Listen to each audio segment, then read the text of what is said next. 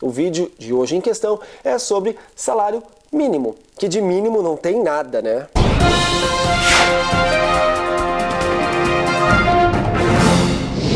Olá, meu nome é Emerson, você tá bem? Você tá legal? Eu quero saber em Namastê Beach.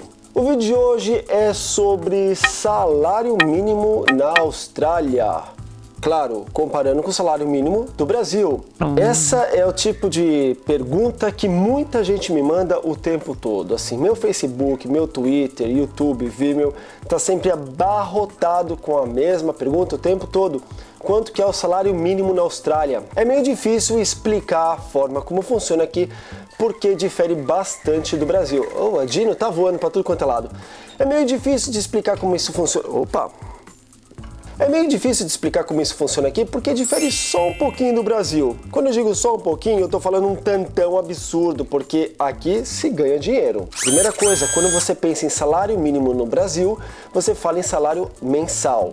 Aqui na Austrália é totalmente diferente, porque salário mínimo aqui não se aplica do jeito que a gente pensa. Aqui se paga por hora ou até fração de horas. Então, se você estiver trabalhando uma hora e você estiver ganhando 20 dólares, 25, 30, enfim, e você trabalhar meia hora, eles vão te pagar 30 minutos ou 15 minutos. Então, tudo é fração de minutos: 15, 30, 45, uma hora. Mas o cálculo base é sempre uma hora. Então, tá, a pergunta que fica é: qual é o salário mínimo da Austrália? Aqui existe a hora mínima, que é 15 dólares e 96 centavos. Mas espera aí, isso é valor bruto, tá? Então qualquer pagamento que você venha a receber, eles vão te pagar 15 dólares e 96 centavos.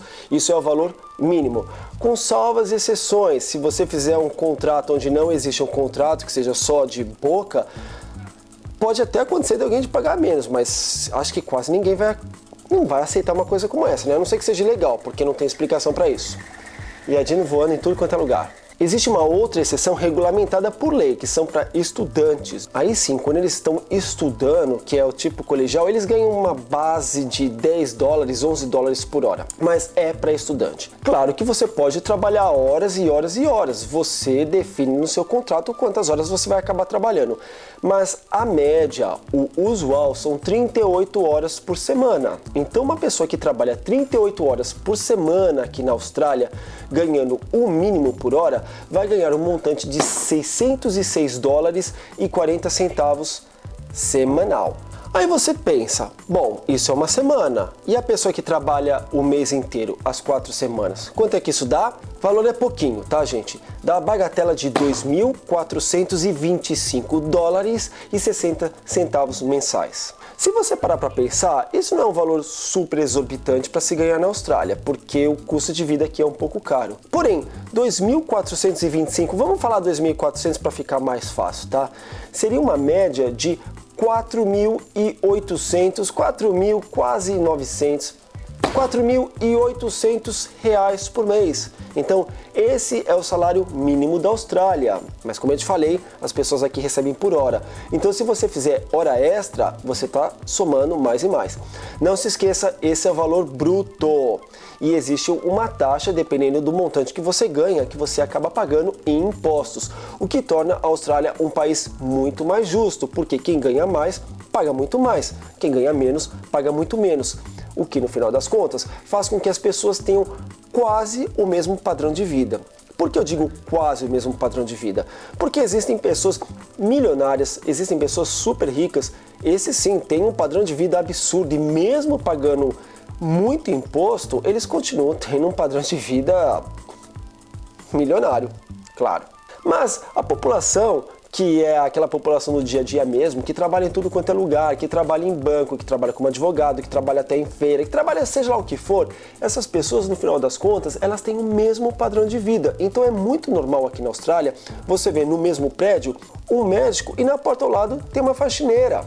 Porque Claro que o médico vai estar ganhando muito mais, mas como ele paga muito mais imposto, no final das contas, no balanço, as pessoas são quase todas classe média aqui. E quando você é muito pobre, mas muito pobre mesmo, a Austrália te paga um valor mensal para te ajudar até que você encontre um emprego.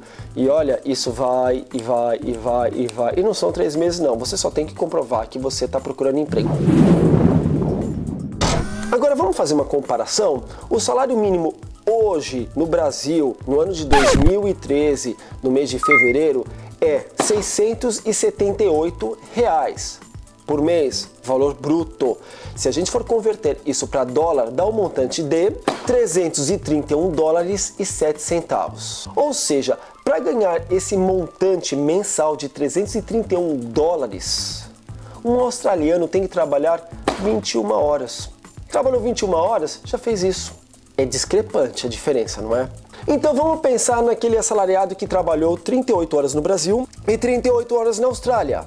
Brasil, 331 dólares e 7 centavos. Austrália, 2.425 e 60 centavos. Uma pessoa com o mínimo de 2.400 dólares consegue morar bem, consegue se divertir, consegue juntar dinheiro para viajar, consegue pagar algumas coisas extras, consegue ter eletrônicos de qualidade, além de que coisas aqui na Austrália a gente não paga impostos tão absurdos, então eletroeletrônicos e coisas em geral, até para você viajar, sai muito, muito, muito mais barato. Carros, roupas, enfim, tudo isso.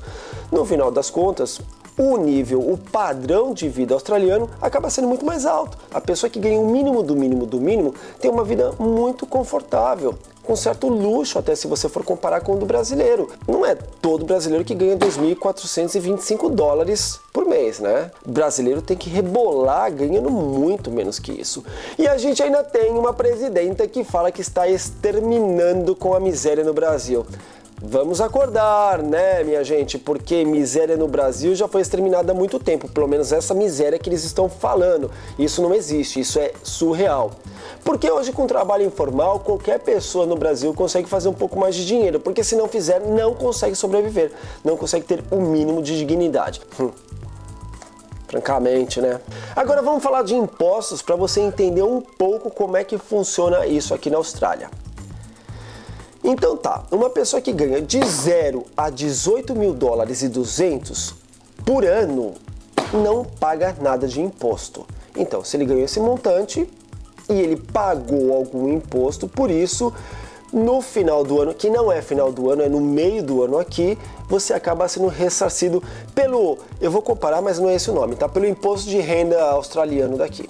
Para a pessoa que ganha de 18.201 a 37 mil dólares, essa pessoa vai pagar 19 centavos por cada um dólar.